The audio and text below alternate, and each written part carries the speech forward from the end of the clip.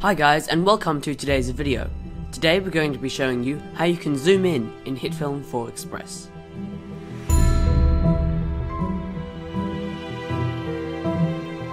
So there are two types of zoom ins I'm going to do.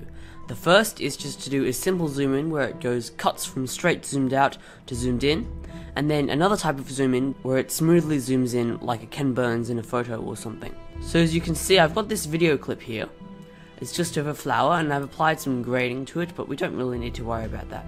What we want to do is zoom in. So say I want to zoom in in this specific part of this clip, all I have to do is go down to the slice tool here and slice it at those two positions, go back to the selection tool, select the middle clip where I want it to zoom in, and then in our controls panel, in our transform, all we need to do is scale it up and that will zoom it in for us. If we scale it down, it will not fill the frame, so we need to scale it up so that it fills the whole frame. We can also adjust the position to make it zoom in to a certain point. And now it cuts straight from zooming out to zooming in, and then zooming out again.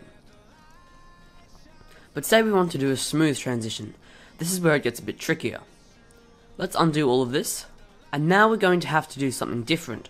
We can't do this in the editor, we have to do it in a composite shot. So, select your clip, and press make composite shot. Leave everything the same, you can rename it whatever you want, and press OK. Now in this composite shot, we're going to create our own zoom in. So we're going to use a technique called keyframing to create a smooth zoom in. I have a video on keyframing that covers everything basically there is to know about keyframing in HitFilm 4 Express, but today we're just going to go and look at how we can use keyframing to zoom in. So to start keyframing, all you have to do is open up your layer and go into your transform. And as you can see we have our scale position right here.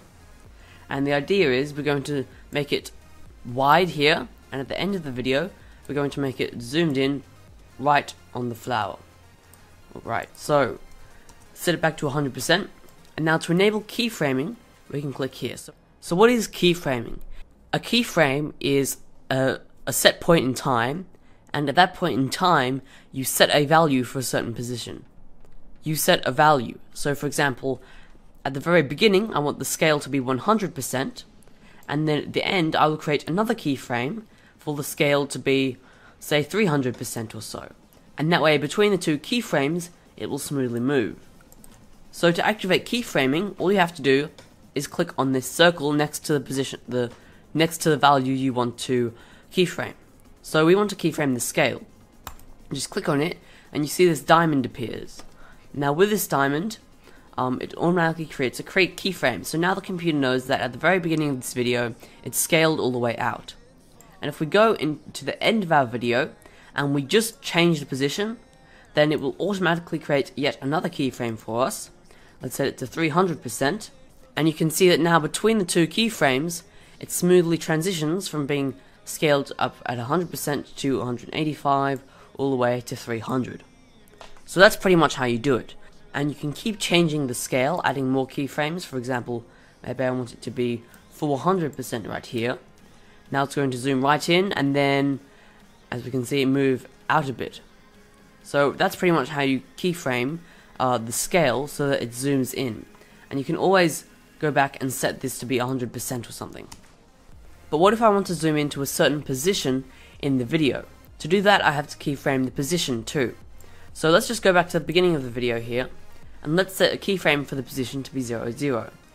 Now let's scrub through until we come to the very point where this keyframe is, and you'll see where exactly this keyframe is because at the frame where the keyframe is, it'll have a little dot in that scale here. And I'm just going to move it to the, uh, the bottom of the video, bottom, bottom left hand corner say, Perfect. And now as you can see, it zooms into that corner. And back again here, we can set the position to be 0, 0, and will automatically create those keyframes for us, like so. So that's pretty much it guys, that's how you zoom in in HitFilm 4 Express. I hope this video was useful to you, I hope it helped you, Next week's video, just to give you a little bit of a hint, is to do with Blender, and it's also to do with motion tracking. So, I will see you guys in that video. Stay shiny, bye!